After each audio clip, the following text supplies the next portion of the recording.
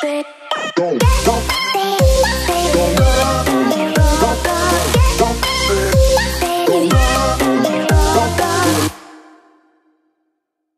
and welcome to DV Test Podcast number. Damn, I don't remember what the numbers are. It's been so long since I've done this. I'll figure it out and put it in the video and title. Thanks. Apparently, I'm on number 10. Um, so, this is DV Test Podcast episode number 10. And with me today, I have uh, the two masterminds behind Project FDL, Jesse and Jackie. So, if you guys would like to introduce yourselves now. Hey, so this is uh, this is Jesse from Project FDL. I'm the original uh, creator of the FDL one and the FDL two, um, which for any of your listeners who have never heard of it before, they're basically fully 3D printed blasters, um, completely controlled with Arduino's, like just a electronics wonderland type blaster. Um, so I uh, originally created the FDL1. The FDL1 was a kind of revolver uh, mega turret type blaster that was designed to go in an office, and it kind of sat on like a little turret base, and it was Wi-Fi enabled. You could control it from your phone, all the good things. Uh, and then the FDL2 is the most recent FDL, and it is a full elite mag-fed blaster with uh, select fire and all the good stuff. And I hear Jackie is involved somehow too. Yeah, that's me uh, kind of married into it and then ended up finding my own niche in the market. Uh, I do most of the hydro dipping and also all the blasters and print stuff as well as customer service. Uh, so let's do a little bit of history on you two. So, where did you get into the Nerf hobby? Where did you find this? How did you start playing? Um, and were you doing any modding pre FDL, or did you jump straight into like let me figure out how to make a 3D printed blaster? so I got into the Nerf, not even really the Nerf community, but like Nerf in general, uh, when I started working at an office that allowed Nerf guns. So I, I work in like corporate software type thing. I sit in a cubicle, all the fun software things. Um, but yeah, like I said, I started working in an office, and the day that you walk in at that office, they gave you a, a Nerf gun as you walked in, and it was kind of a daily occurrence that we had Nerf wars there, and it was just this really cool thing. Um, and then it's kind of a funny, but one day I kind of like I got shot in the face or the eye or something, and I was like, the be- there has to be a better way to do this. I have to be able to sit at my desk and shoot a Nerf gun from up above me and not have to worry about getting hit from people. Um, so it all kind of started from there. I like went to the store and I bought a the cheapest electronic blaster that I could find, and that turned out to be a Strife. And I actually before FDL was an FDL, I had it built on like this wooden turret with like servos, and it was just a fairly dirty mod at the time. Oh, it was janky. It was it was very janky, but it worked, and it worked on a little RC remote, and it was it was cool to use.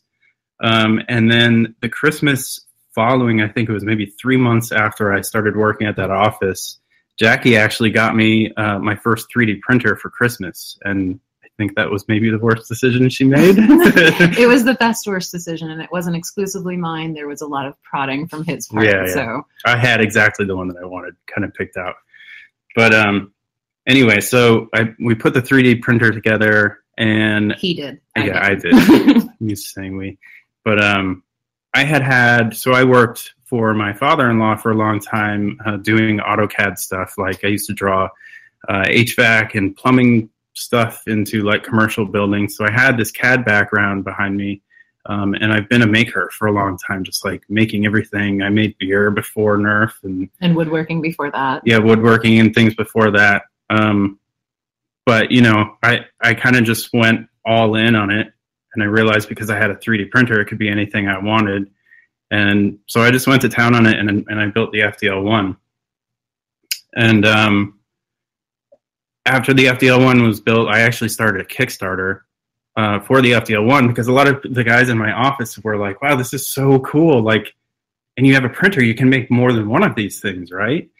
And I kind of thought about it and I was like, wow, yeah, I totally could. This could be like a really cool thing. Let's, you know, and let's try to get it out there. And the one thing that I needed to do at the time was to do a Kickstarter. Um, so we did a Kickstarter, and it didn't go super, you know, awesome. Like we didn't meet our goal or anything, but it was still funded. Yeah, we did a really good job, and um, you know, but during that Kickstarter, I, you know, everybody knows Drac, right? And I got an email from Drac, and my, I didn't even realize what was happening, and my son was like super happy. He was like, "You realize who just emailed you, right?" So I got an email from Drac. He wanted to see it. He wanted to do a video of it or whatever. And in the midst of talking to him, I learned about the SCNC and like how this whole big community existed. And like turns out it's this full worldwide, you know, sort of community to be into. Um, so, you know, the FDL one started out as very much just like a maker project, but like in the process of doing the Kickstarter and everything, kind of got into Nerf that way. That's a really cool story. Uh, personally, I have a really important question about the FDL one. Why did you start with Mega Darts? Because bigger is better. Oh, babe. No, for real. I thought about that all day, and that was the that was the best. No, for real. Like in the office. So when when I first started working at that place, they handed us triads when we walked in, right? And I was like, okay, cool. I can shoot three darts. This is great. But then I, I eventually ended up in an area with other teams who had who were like the more seasoned office nerfers, right? And they had they all had Magnuses. And there was the one dude who thought he was the badass of the office because he had the, the like mega bow, you know? So like at the time that the FDL one was created, it was just like we were all using megas in the office and like when you're a grown up playing with toys, you always want like the biggest darts possible. So it was partially that, and it was also like, you know, I found that Strife and it shot the little darts, and I hadn't really seen a lot of other blasters that were flywheel mega blasters at the time, like if any. So it was kind of just this really cool engineering, you know, challenge to get into. Okay, cool. So continuing on, after the FDL one came the FDL two, um, and you switched over. You made a lot of changes. You went from Mega to Elite, from a turret to a handheld and from like a revolver style to magfed. What inspired all these changes? So like on a really kind of emotional level i'll say that i fell in love with nerf sort of at that time. You know like i was explaining that the ftl one don't mock me. like the FDL one came about as like a maker thing. It was like this engineering challenge. Like it wasn't meant to be pretty or anything. It was just meant to like fire darts in a cool way. Um, but then once I started like going to Nerf wars and like realizing that a lot of people go to Nerf wars and it's this really cool, awesome thing. Like I realized that it, I wanted it to not necessarily be something that sat in a cubicle, right? Like I wanted something that was super war friendly and like very efficient and take it out there and it just does its job. And like the FDL one I used before the FDL two, but it was real heavy and it was real cumbersome and expensive. Yeah, and expensive, and it was really complex. So like when I started selling FDL ones, I didn't sell a lot of them because they were really expensive and they're really hard to build. Um, you know, so I wanted something that was easier to build and a little less complex, but it still had a lot of the cool features. Um, you know, so the FDL two became a thing, and I think like the one moment that I had when like the FDL two was like I definitely needed to do this was I went to NVZ, which was like the big, you know, HVZ event prior to EndWar, and I just walked around that whole time and I just looked at all of the blasters that everybody had and like the full swath of what everybody was really into. And I hate to say it, but I saw a lot of the guys with like the really cool rapid strikes, and the rapid strike had that like full auto type awesomeness to it. And you know, it was mag fed, and the mags just make the feed system really easy.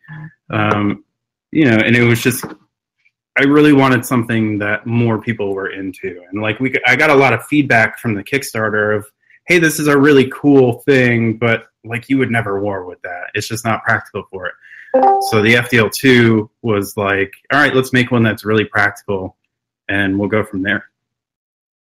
And continuing on with that sort of trend of making things for people, when did uh, the FDL project kind of transition from hobby into more of a business. Uh, I'm assuming it happened at some point during the FDL 2's existence, but you said you were already selling FDL 1s before that? Yeah, so directly after the Kickstarter, you know, we didn't fund, but like I didn't give up. So I opened up an Etsy shop and I sold a few of them on there. And then the FDL2 came around and I started selling those on there too. And I did this pre order of FDL2s. And I think I built 10 of them at once, real quick. And then I kept the shop kind of open after that. And it got like really intense. And it got to the point where I realized like I couldn't really do it myself.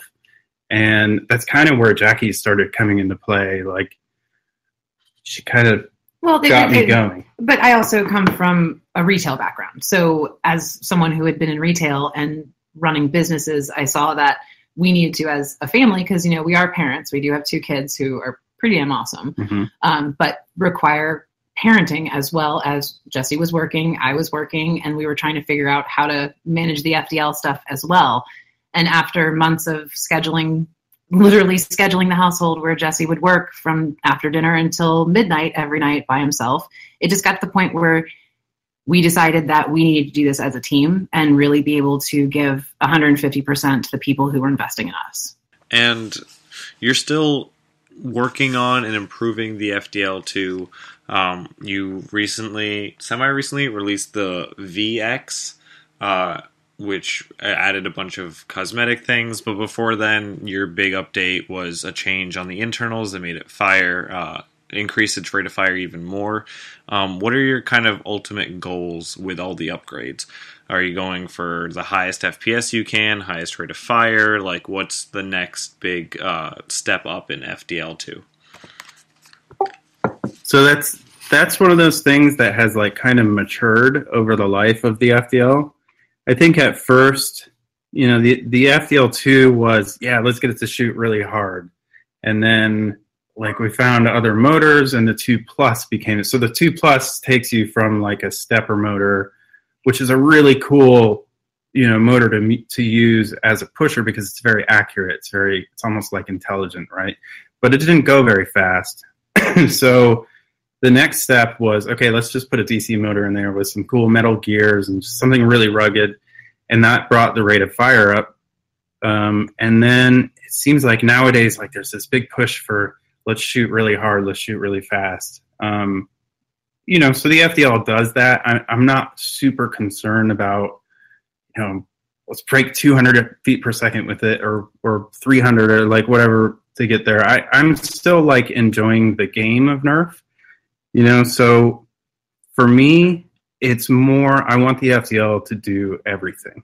And that's kind of what it's blossomed into. And like the more that we sell and the more people I watch use them and just hear about people using them, it's it's more of like I want you to have like one blaster that you can take to any game you want. I know like we went over to Scotland in the UK and a lot of their games are very low FPS like we went to terminal infection and it was 100 feet per second max But we like, were in a mall inside, and it was it was one of those environments where that was the best use of it. Yep. And we could just turn it down. Uh, We turned it down to like 10% power there and we could still use it. And then, you know, like HVZ games like End War and things like that or, or 130, and it works for that. And then you take it out to like a super stock war like the SCNC and it works there. And, you know, it may not shoot as hard as like really high end long shot or like a Caliburn or something like that, but like you can still hold your own and you have the rate of fire over people. So it's not necessarily that I want it to be any one thing. It's like I want it to be everything at once. And I- you know that's obviously like really big shoes to fill, but like that's kind of the the goal with the whole thing. And um, you know we keep moving moving towards that. And also on top of that, like we we've moved into this kind of very high customization niche too, and that's sort of the power of of the fact that it's 3D printed. Is you can get it all in like different colors, and every piece can be different colors. And Jackie does the hydro dipping and stuff. So like ultimately, I want it to kind of be everything for everyone, you know. Definitely. I really like the versatility of it, and I, I definitely see, based on uh, conversations in other groups and stuff like that, and the FDL group itself, uh, which you started recently. That's definitely one of the more popular aspects of it. Yep. Yeah, it's and the more people use it, the more we realize like it really is good for everything and people just like them so much like it's cool to make sure that they can use it for every every game that they want uh, speaking of all the customization options ha- i know you guys have i've seen a lot of them posted on your facebook page um, and the facebook group do you guys have any like particular favorites that you've made for people that you that you have like really fond memories of putting together, or just you really um, found a color scheme that someone else pointed out to you that you really liked? I'll let Jackie take that one. Uh, a, a lot of it's been just really fun because a lot of the process that I go through with every new person that gets a blaster, whether they're getting, you know, a basic two plus, which is totally fine, or getting a fully decked, you know, two X with all the attachments, is just finding out what they want. And a lot of people come to me and they're like, hey, I like these colors. Okay, cool. I'll send them different filament colors. And then from there, we kind of figure out what they want it to be. I mean, we actually have a black and white sheet that we have people either color. We've had multiple people color them in, they're super fun. Um, but also where they can indicate every single piece that they want in a color because we have to print it. So if they want certain things in different ways, we're going to get it to them. Um, I mean, there's there's so many cool blasters that we've done. I mean, there's there's been so many that when it's done and Jesse goes through and tests them, he kind of looks at them and is like, man, this is, I don't want to let it go. It's like a baby, but those are the worst when you don't want to put them in a box and ship them out. Oh, but they're the worst bet. I mean, that's the, the thing. It, like, cause the whole hydro dipping thing started um, back in October of last year. Uh, a guy named Michael Lim in Australia reached out to me and was like, Hey, I really want camo. I was like, well, I can't paint, so I don't know what to tell you. And then back and forth through conversation, um, hydro dipping came up and I had never done it before. I was very, very new into all of this. I was still learning the parts that I was printing on the FDL, let alone getting into custom stuff. Um, but throughout the course of about seven to eight weeks, he was patient with me, and that was right when we were having the 2X come out. So a lot of people went like, "Oh, okay, let me get a 2X instead of the 2 Plus that I ordered." So it was a very fluid time as far as change was concerned there. But I did a lot of practices and I have a lot of really sad dips, but I also came out learning a lot about it. And I sat on the YouTube, which I, am not really a big YouTube person, so this was a lot of time for me to spend watching videos. But I watched Drac's video and saw how he did it, and I watched it four or five times and asked questions when I could to him and like 800 other videos too. Yeah, well, I mean, there were just so many videos, but that's what I started with. And, you know, the comfortability of knowing Drac helped that, you know, I could kind of see his process and ask him questions. Um, but then started dipping. And the beauty of 3D printing is PLA takes amazingly to hydro dip. You don't have to prime, you don't have to sand. You print it and you can dip it. So if I made a mistake, I could print another.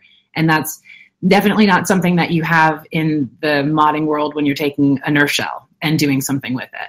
And I've been almost very slow into doing any kind of dips on actual Nerf shells because it's not as easy to make a mistake, a new one, or you know, make a new shell for it. Um, so all in all, then we did Michael's, the Ghost Blaster you guys may see on our Instagram or Facebook page. Um, that's kind of what started the hydro dipping. And then. So, and that was like a red, black, gray. Red, black, gray, and, and the digital camo over white. Yeah. And, and then we did, it said Ghost on the side in this cool, like, like, I don't know, NASCAR font. Almost. And it was, it was just more of like a block slant, a yeah. slanted kind yeah, of font. That it was just, it was awesome. And it was exactly what he wanted down to, I mean, the I mean, like our, our customers can choose, you know, what color hardware they want and everything else. But I mean, he had such a design in mind, and we went back and forth, and that kind of started how we were going to start approaching people's blasters. Like they're they're super cool, they're super versatile, but now we can make them completely individual. And people ask for copies of other people's blasters, and we do it, but we do like slight changes, so they're never mm exactly the same as the first person's. But it's it's been really cool to see what people evolve to. I mean, I personally love. Um, we have a customer named Brent, and Brent has eight blasters from us now. He personally owns three because he likes different looks on blasters. So he has a UV one that's hydro dipped, and then it's UV green with hydro dip over it, which is so cool. And then he has a black and gold one to match his son, so his son has one. But then he made one for his girlfriend, and he said that based on the glitter one that I had at End War, he wanted something similar to that, but he wanted to do something with the galaxy kind of like spacey look to it. Galaxy one was cool. That one's just awesome. And that was like the beginning of like, oh my gosh, there's gorgeous filaments that we can use. And yeah, they're expensive, but if we use them right in the right places, it really makes a statement. And then the, the hydro dipping was just, I was in the zone and starting to get really comfortable with it. And it was for a customer that was a return customer. So there's a certain joy that you take in like being able to send something new out to them. Mhm. And that one just turned out so well. And it, it was just, it was a showstopper as well as something that I was really proud to put in someone's hands. And then that, that's kind of the bar that I've set for myself is if, you know, if, if I want to keep it personally, then that's a good blaster. Mhm. You don't really know like into the until the last minute, like how good something is going to be. Too. And how well it fits together. Yeah, like you see all the parts when she hydro dips them, and like you know you kind of lay them out on the table, but like until it's all together and it's making that like really distinctive, you Sound. know, brushless sound, like it all comes together. I think for me, one of my favorites uh, when we discovered this like UV reactive filament, Mhm. um, in the UK, he and this was the first time we had really put LEDs in a blaster. He was like, "I want UV LED and I want UVs inside." He wasn't the first though. Yeah, no, we had Because Michael had in, so- in SoCal. yeah, was Michael's was first with cool because was like lots of translucent. I was the first colors. LEDs actually, but he was the first customer LEDs. Yeah. But uh, so Franksy wanted UV translucent filament and UV lights inside, and I was like, wow, this is gonna be kind of a pain in the butt, but like, how cool will that be? And like when it was done, there was four different ways that you could look at this blaster, and it looked different. So like you could look at it in full light, you could turn the UV lights on in full light, you could turn the lights off with the lights on inside. Like it was just like this. I don't know. I can't even explain it. Like it looked different in every lighting. It was really cool. and the translucent really made it pop. It was kind of candy-ish. Yeah. I mean, it, it's just it's such a striking green, and we've had many people do the UV green after that, and it's it's just it's a color that we love to play with because it's such a it's just such a Mhm. fun blaster. But I mean, they're all so cool too. Like realistically, Every single one has Yeah. a lot of love that goes into it, and it's cheesy, yes, I know, whatever. But we're doing this in our basement, and everyone really has a story too.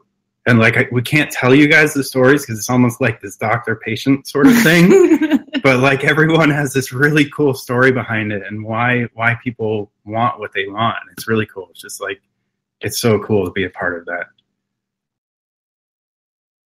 So I know you and Jackie also have your own custom FDLs. What did you guys do differently in your own? Um, your son also has one. Um, I don't know if your other child, your daughter, yes, also has one. But w- what have you guys done with your family's FDLs that are special and different from everyone else's? So Zoe kind of has an F. So Zoe is our daughter. Aiden is our son. Aiden is probably the most badass 13 year old nerfer that I've ever seen. Like, I fear him most on the field out of anybody. um, his is pretty straightforward. It's like a translucent, almost, he wanted clear, but it's really hard to print clear. unless you Um, want to spend money, like yeah, money. it's that and like a translucent pink. And it's, he's really into He's pink and really, those two really colors. So it's exactly what he wants. And like his Caliburn matches that too. And his Caliburn's glow in the dark and mine's not. And that's kind of a bummer. but um, his is a straightforward two plus. I've tried to get him to upgrade and Jackie to upgrade to a two X, and they just refuse to do it because you know It's, people. it's just user interface. I personally like knobs. I like an interface that I can go teet teet and it's done rather than having to click through screens. Yeah. Not good for me. so Zoe has what we've kind of called the FDLZ, which is not really an FDL at all, but it is like a brushless rapid red that we hydro dipped, and it was kind of this like Oh, and it's such a good hydro dip. Yeah. That was like I love Tokidoki. I don't know if anyone's familiar Mhm. with Tokidoki, but if you see my blasters, you know what it is. Yeah. It's just fun, cartoony, and she loved it. And it was the first shell that I've ever sanded, and yeah. we went through and sanded that, and it was it was just a lot of fun because a seven year old getting that level of a rapid red is pretty kick ass. Yeah. So it was like a full custom brushless cage inside of it, and it's like literally just packed. Cool. It's literally just packed with wires in there too. Like you, you actually can't take the battery out of it. it's it's, it's, So- like, it's not yeah, like you have to pull the shell apart to pull, pull the battery out. That's why, like, when people ask for one of those, I, I'm not ready to do it. But um, yeah. So Aiden's is pretty straightforward. Uh, Zoe has that. Jackie likes to theme her blasters. Like, what's Very your? Well, okay. So when I started getting into this, uh, we sat down in March of last year and we were like, yeah, you know what? I'm going to start going to wars with you. This is not going to be a Jesse goes to nerf things and I do the other stuff. It's us as a team. And I was like, well, shit, can we print in glitter? Can I say shit? Yes, Okay. I've heard sure. Van drop the f bomb on here. Nice. You're good. Fuck. All right. um, so I, I like glitter. I, I don't know hashtag Sparkle Squad if any of you guys are familiar with that, but that's kind of my thing. Um, and Protopasta makes one of the only glitter filaments that I consistently go back to. And it was just there. It's like kind of translucent with silver flake glitter, and I fell in love with it. And I was like, okay, so I want clear blue and glitter and purple, and I want this to be like a super sparkly blaster. And Jesse did that and he added LEDs and it was super fun. And it was my kind of way of being like, hey, let's make things pretty. And that's kind of how we ended up starting adding a premium option to our blasters rather than just printing in the orange, black, yellow, blue, whatever. Now we have options for people to do multiple colors and glitter and that kind of stuff. And it was it was fun because like I like making things pretty. I like making things look good. And I do have that theme. I have that glitter one, which now has been updated to have Tokidoki side Mhm. panels. Because yeah, I, I like Tokidoki. Uh, and then when we went to Scotland, I was like, well, we can't we can't go to Scotland not have a new one for me because you know I'm a girl. So I did a Twin Peaks themed blaster. I say girl because we like shoes and stuff. So you know, Yeah. I, I print them. Um, so I have a Twin Peaks themed blaster that I hydro dip black chevron um, for the red room. For those of you guys that know Twin Peaks, and it has a custom side panel on it. And it was my first one that I actually had any of the two V parts. Um, those were actually designed by Jake Henler, and he let us use those files and started having that into our stuff. So I was very excited to use some of his things Hmm. with mine.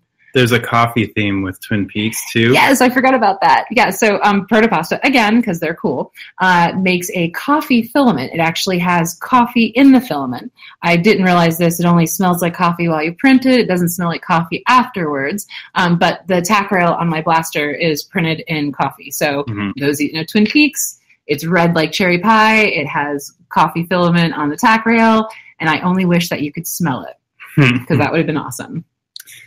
So in mine, like I deem my blaster a Franken FDL because it it like doesn't have any of the same piece twice on it. That's not true. Now it does.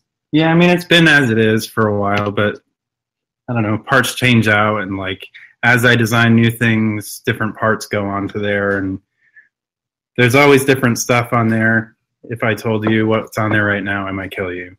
Why? Oh, okay. Oh, no, well, no, I always have like the prototype kind of stuff on there and things that I'm working out. And but um, you know, besides that, I, I mine's not like super flashy. It's like blue, but Um, it- Jackie, it, it, hi- does have hydro dip. yeah, she has panels. a, she hydro dipped the the electronics cover in like this cool circuit sort of hydro dip for me, and I really dig that. So yeah, we each have our own kind of characteristics in our blaster. And on the topic of Nerf wars and using other blasters, when you guys are not using an FDL in a Nerf war, what are you guys using? Want me to start?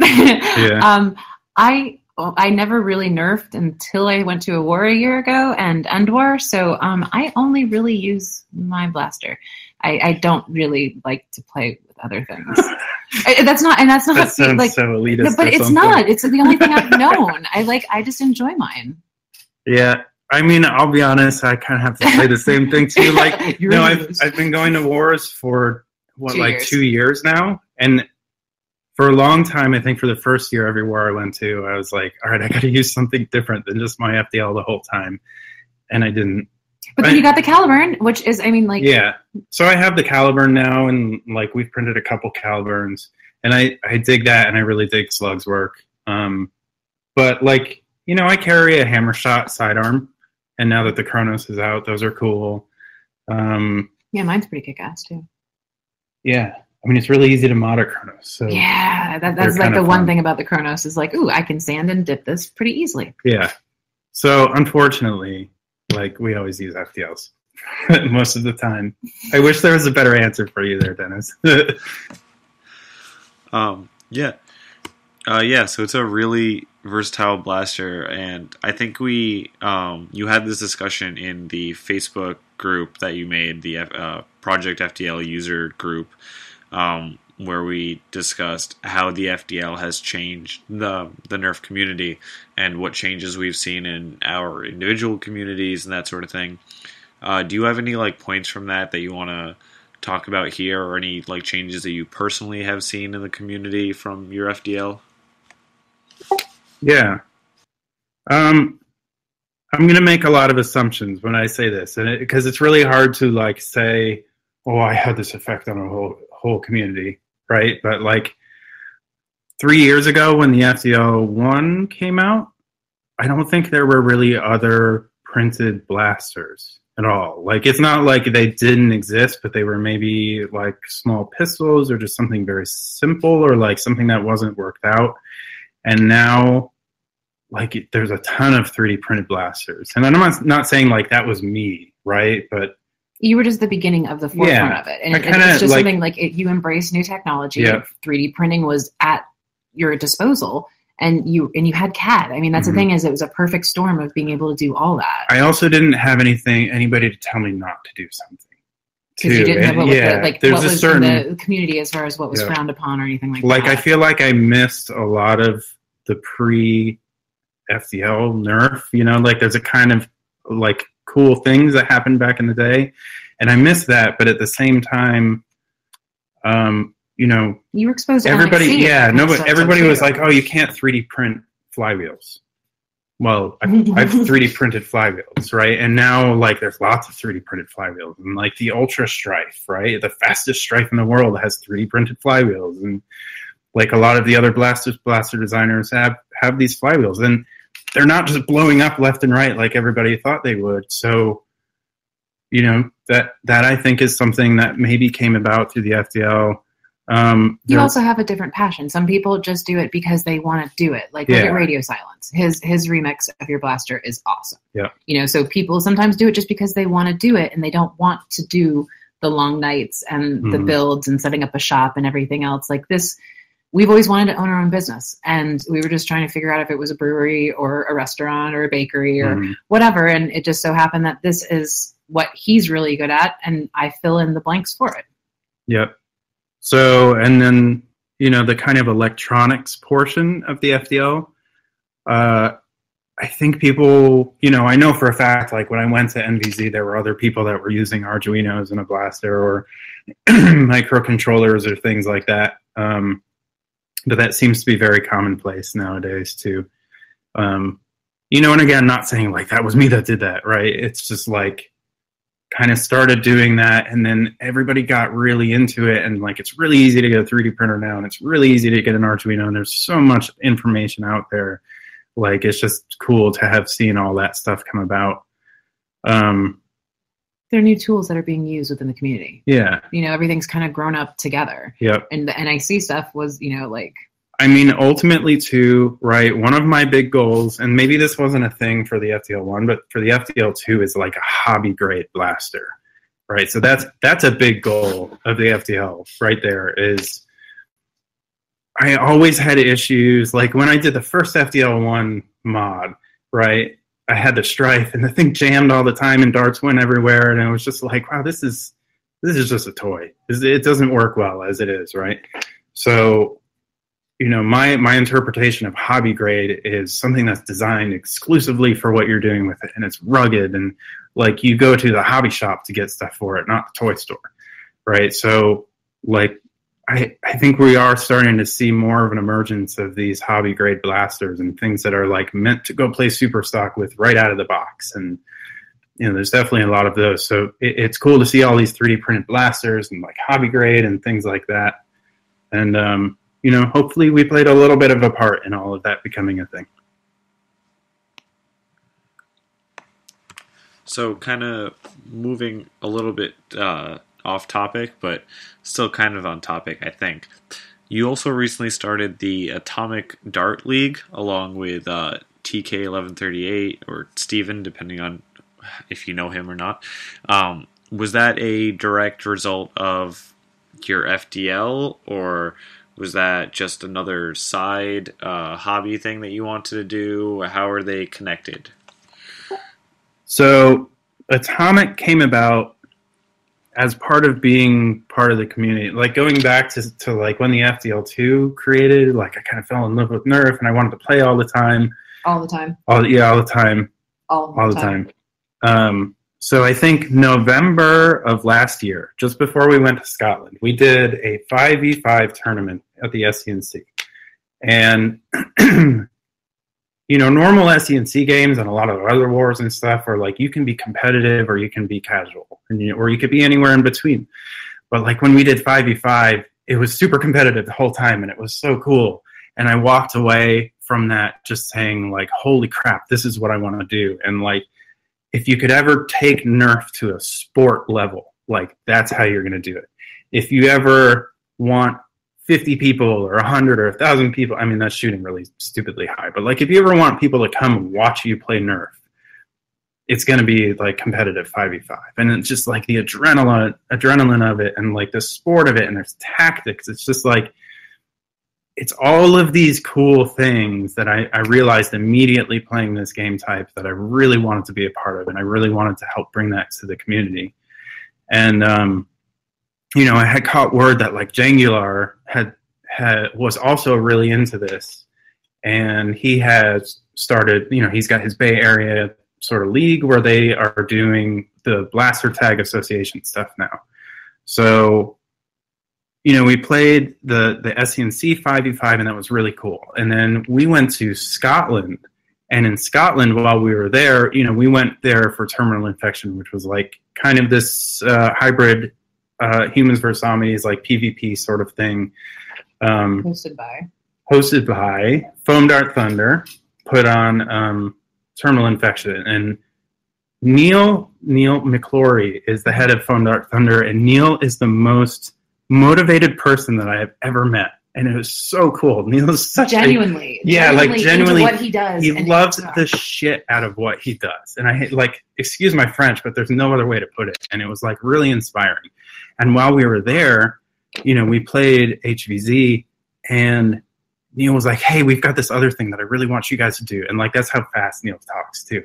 Hey guys, we've got this other thing we really want you to do. Like, come, oh, but an amazing it. Scottish brogue. yeah. and he was like, "We're gonna play speedball, and it's gonna be rival, and it's gonna be stock." And I was like, "Neil, I don't, I don't really want to play like stock, right? Like I'm FDL, dude. Like I want to shoot hard and whatever." but so Neil got us all into uh, this gym out there, and he had these really cool inflatable cubes, and it was five v five, and it's so Foam Dart Thunder Speedball, and this is part of the Blaster Tag Association thing that Jangular put together which basically unifies four four and potentially counting game game types for leagues to all go into. So Neil submitted like the Foam Dart Thunder uh, Speedball is one of the game types. So Speedball is you have four Artemises and one Nemesis on each team, uh, all stock. The aftermarket battery is cool for the Nemesis, right? But still, it's stock. And we were in a gym, and I was like, "Wow, this is stock, but this is awesome." right? And we had the gym for like an hour, maybe two, two, two hours. It was the most tired I've ever been after playing Nerf. and ever. two minute rounds. And granted, I'm 37 and I get tired easily, but like it was so cool. So you know, we got back from Scotland, and just the whole way back, I was brimming with like, wow, we can play 5v5 outside. We can play 5v5 at a gym, like competitive, and like this would be cool. And I, I used to be pseudo into wrestling too. Like long story, when I was a kid, I hated wrestling. I thought it was just like this big showy thing. But like then WWE I wrestling. WWE okay, wrestling. Yeah, let's clarify. Yeah. Um, but back in my audio days, I, this is a long story I'm not going to get into. I worked on WWE wrestling game, and I realized the art of wrestling. And it was everybody had a cool character, right? So like translate that to Nerf, and you've got the the heavy FDL guy. You're talking like about his, the Luca, like the Luchadores. Yeah, yeah, and like yeah, luchadors yeah. and stuff like that. Like everybody has their own kind of cool personality, and because Masks. it's a competitive thing, like it's just really cool. And then, then when Jangular, uh, you know, announced the BTA thing, he had I mean, all we that talked stuff. To, we we talked to yeah, Steven about that too. Yeah. So yeah, and Steven is if you guys don't know TK one one three eight, he is like I, I'm super FDL. He's, he's, a, he's And- like he and his wife Emma Yeah. are like our best friends, like no question. Yeah, besties. Besties. And um, but Steven's really into the game, and he's really competitive, and like he's you know he's a guy that will practice changing mags at night. We laugh at it, but it's true, and like and he loves it. and he loves it. And Oda, like, there's a million Stevens out there, right? but only one Steve. but only one mm-hmm. Steve. TK one one three eight. But so, you know, we started talking to Steven and I was like, dude, five v five is so cool, and I just like spouted it in his ear over and over and over, like until he just couldn't help but, you know, Be excited let's about do it. this. Well, and, it, And, it's you know. something that, as the three of us, you know, Jesse and I, as Project FDL, and Stephen, who Stephen, I, I, like he is a very active admin for the SCNC. He's he's a very organized and list driven person, Mhm. which definitely feeds into me because I'm the same way. Um, and he he just he does everything with 150 percent passion and drive. And when we started talking about this and what it could be for the community and for people that we know, and just overall challenging what the community is now and what it can grow into. It not everyone has to be part of a league, but it'd be fun to watch too. Mhm. Yeah, it gets like, you know, the SCNC works as a really good place for younger kids and people kind of coming in and off the street and people just getting into Nerf and maybe people that have just done their first mod. Like the traditional sort of war that we are all mostly used to outside of like NIC wars, right? But the traditional like Super Stock war is very easily accessed by anybody. So, but then after a certain period of time, you're like, God, I just want more, right? I want to play and I want to play really hard. I want to run really hard. I don't want to have to deal with like seven year old kids. Which I love my daughter; she's seven, But she's right? seven. But there's a certain level of competition that I think people really want to get to, and Everyone wants their squad. frequently. Everyone Yeah. wants their squads and Yeah. what they can do with it. And so it's know, kind of just like, yeah, it's this other kind of sector of the community of wars that I think we could get into, and I'm, I'm like really excited to see a lot of other leagues form and other other people try these things. And sorry, it's it, and it's just to you know clarify the Atomic Dart League. We're not looking to do this as Project FDL as a profit. We're looking to do this strictly to see what can grow within the community. It, it's definitely not something that we're looking to you know line our Mhm. pockets with. It's it's a endeavor in love, not definitely not endeavor Yeah. of profit. I mean, it's definitely a place where like an FDL can stretch its legs, right? Like a Super Stock War, we keep stuff turned down most of the time, especially when we play like zombie rounds where things get kind of close quarters. It is a place where you can get out and like a Caliburn can hit real hard and like an FDL can hit real hard and everything's very fast paced and so yeah, it's it's a little different, but we're really really excited about it. That's great to hear. Um, and I guess we're kind of coming down to the last bit of it. Uh, what do you have planned for the FDL in the future? Uh, should we be expecting anything new from you in the upcoming months? Is there another letter you're adding to the end of the name? Y, Z, something else? We're gonna go through all of the letters of the alphabet before No. we choose a good name. We, we've learned that hopefully going forward that you know like the iterations of the FDL2 are going to get letters and it's Yeah. confusing and we get it. We came out with the X and the V at the same time and shit I get confused. But hopefully we'll go to names next time around like Yeah. the FDL Spectra or I, I, I don't know if that's anyone's actual name for something. I was just throwing Spectre, there's Spectre Nerf. I was saying Spectra. Are you? Yeah, I mean, we are always working on things. I like. No, I mean, just so that you don't know, I'm just like sitting around doing nothing. But like, it takes a lot. Like, it's a big difference between, you know, just sitting down and doing something and kind of posting something on Thingiverse and it's there and it's like real fast and ready. Like, when we get into or when I sit down to do an FDL, like it's a long process, right? Because I, I want to make sure that it's going to be really good in the end. Like, I want to make sure everything fits together really well, and I want to make sure like we can make a lot of them, or Within like, or- yeah, within reason, or like even if we make five of them, they're really easy to make. So, um, you know, I think again, I don't want to talk about what I'm getting into because like until it's it's a prototype sort of thing, and I know it's working. I- Like it's just who I am. I, I don't like to talk about work in progress, but I can say the big goals of this time around are um, make it easier to build, make it cheaper,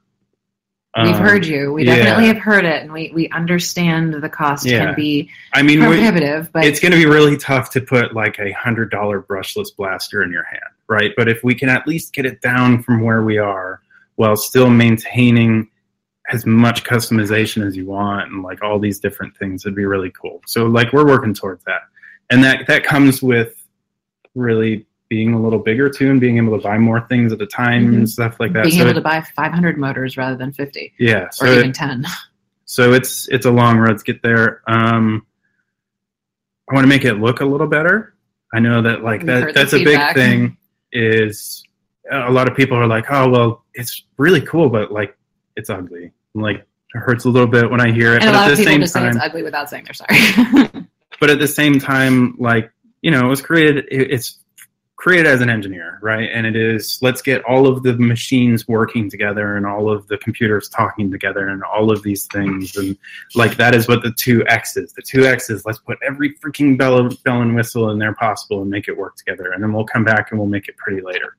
So yeah, the next time around is like let's make it look a little better let's let you customize kind of how it looks more because really like the FDL2 only has a couple places where we can really put custom stuff. in like- multiple colors. We can Yeah. put same color kind of stuff, you know, like how the Caliburn has Yep. the Caliburn on the Magwell. It's just we like to do it in different colors. yeah, so like custom things. Um, I'll be honest, it'd be cool. And I know that like every time somebody asks, like, when are we going to see a rival FDL? I immediately am like, I'm not working on a rival FDL. It's not happening. But like, it would be cool. It would be cool to do something rival. At some We hear point. you. Yeah. We, we hear it. It's just yeah. we'd like to let at the same time, like, yeah, Out of Darts is the rival guy, right? Yeah, exactly. And I, I respect Out of Darts so much that, like, dude, you build your rival thing. Whenever you build your, like, coup de grace rival blaster, I'll come in behind. And it's not competitive. It's just, we'll buy his. yeah, I'll be the first in line to buy him. As a matter of fact, he already told me I'm a beta tester for his, like, little, little shooter thing.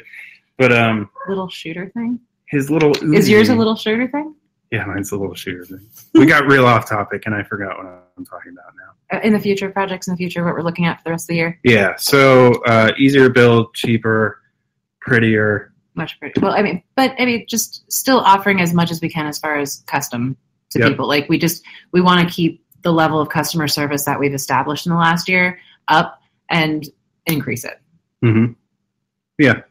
So it's you know, and it's a long road. I I doubt you're going to see anything major in the next few months. I did like think last year at Endwar, I was like, yeah, Endwar is going to be the place I'm going to debut like a new thing, and realistically, we have orders through Endwar, so Yeah. we can't really do that because. it's really hard to design and build things at the same time. So But we do have awesome people helping us. I mean, we have Austin and Trowa helping Trowa, us, which yeah. is awesome. Yep. Trowa, Trowa. so we're getting there. I like it's cool to put little things like actually, you know, something little that that we probably will see is I've been working on putting LEDs like in blasters really easily for a while, and I'm getting really into LEDs and lights and things like that. Um, so like little accessories like that will pop up here and there. You know, we just released like the lever mag release, which Yeah, was cool. I don't know why we didn't do that sooner. But, uh, These are all you things. Yeah. So just little things here and there until you see something really big. And uh, next time we see something big from you, or not big, but next time we see you, we'll probably be at Endwar. Uh, you'll be at FoamCon with your own booth. Is there anything cool we can expect to see you guys set up at the uh, at FoamCon with? Any uh, any cool things we should come and take a look at at your table? Oh yeah, I mean, there's going to be tons of stuff. Like last year, um, because me, I wanted to make pretty things for Endwar last minute. Um, we printed two blasters out to bring. One was um, a, the glitter, of course, because glitter, um, black and red blaster that um, Marco and his dad Steve got at Endwar, which was really cool. And then we also did the watermelon one, which was white, bright magenta pink, and green. And this year, I am aspiring to have three to five blasters completely ready to go for sale as well as we're hoping to have some bundles there. Just some Mhm. things that if people are traveling and want to save on shipping, we'll have. We'll deliver some orders there. But then I'm going to bring a bunch of stuff that I've hydro dipped and we'll have blasters to play with. And Stephen will be at our booth as well as, you know, Aiden, who's always with us, which is really cool. And we'll we'll just have a lot of fun stuff, and we just want to talk to people and get our blaster in their hand again, and just let them play with the FDLs to really see what it's about. Yeah. It, like End War last year was a really big turning point for us. Well, because it was you taking it seriously, Yeah. like as a business. Well, and it was so many people got to see them like in use and hold them and fire. Like I, I love the picture of um, uh, Jay Nerf. yeah, yeah Jay Nerf was my I'm like favorite last smiling year. behind him. It's the best picture. Like he knew what he was getting into already, but he grabbed it and just the grin on his face is like. and it was mine. It was my glitter one. Yeah. So I love when people hold my glitter one. but that's like what keeps us going is that grin on people's face. So, you know, we'll have we'll have some cool stuff. We'll we'll have a ton of merchandise to patches. And, well, and, and all yeah, and we'll have uh, more info about Atomic Dart League. So if anyone's curious and wants more information while they're there, come talk to us. We'll we'll be all ro- rotating throughout the booth. We're hoping to actually go rotate actual FoamCon to be able to see all the other people. But at the same time, I mean, it was a great thing for us last year to meet so many people in the community and Mhm. put faces to names and just make new friends. I mean, we we made a lot of friends last year that we consider very close friends due to that. Yep, it's exciting. Uh, that's all the questions I have. Do you guys have anything else you guys want to talk about, or anything that I forgot to mention that should be discussed about the FDL? Uh, anything like that? Yeah, I don't think so. I, I, I think we covered that all pretty well. Rem- What? Dan says, remember to ask them to ask The next, the person, a question. Okay, so I was gonna do this thing where I was gonna have each person I interview or a group of people ask the next person without knowing who they are a question, and that lasted like one episode and it didn't work out so well. Uh, but maybe I'll try doing it again. Do you guys, without knowing who the next person is, because I don't even know who the next person is, do you guys have a question for them that you want answered? Why do you nerf? I like that one. But it's it's like that's that's so. Um, Fine, you come up with one. Fine. Three, two. shut up. Uh, what is your favorite off-topic Reddit subreddit? Ooh, that's a good one. That's juicy. Yeah, because that tells a lot about someone. Yeah. Because like mine, no, you don't want to know mine. you don't want to know mine. No, actually, it's like I, I mean, it's it's a toss up between a lot of them, but mainly, ah, what the fuck? I mean, that's a good one. Why is the FDL the best blaster in existence? ah, see, we don't think it is though. I mean, like we think ours is pretty tits, but I mean, I I wouldn't say it's the best blaster in existence. I like all blasters. Oh, really? You're gonna like I like all blasters. I'm Switzerland. That's what I'm doing. I'm doing that. All right. Well, I think that's it for this episode. Uh, thank you both for being on here and talking to us and me about your about your blaster and your business uh, and taking time out of your, I'm assuming, really busy schedule building like a billion of them right now. Uh, so thank you guys both for being here. No problem, man. Thank Yeah, you it- for having us on. It's been great. It was awesome. Thank you. And thanks everyone for listening slash watching. Um, tune in hopefully next week. I don't really know how the schedule is going to work out. Hopefully weekly, but we'll see. Um, so yeah, uh, thanks everyone for listening. Thank you guys for being here, and I'll see you next time. Goodbye.